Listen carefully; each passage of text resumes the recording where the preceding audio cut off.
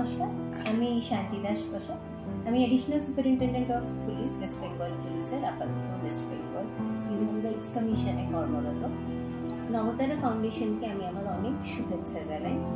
অনেক বছর ধরেই নবতারা ফাউন্ডেশন নিজের চ্যারিটেবল প্রোগ্রামগুলো চলে করে চলেছে এবং খুব সুন্দরভাবে করে চলেছে।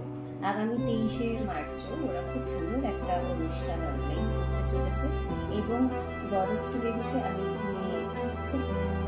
পার্সোনাল লেভেল থেকে চিনি ওনার মতন ভালো কাজ সমাজকে অনেক কিছু দেওয়ার জন্য যে কাজ উনি করে চলেছে এরকম মানসিকতা খুব কম মানুষের তাই ওনাকেও আমার স্পেশাল থ্যাংকস ওনাকে এবং ওনার টিমকে আমি এখানে আমার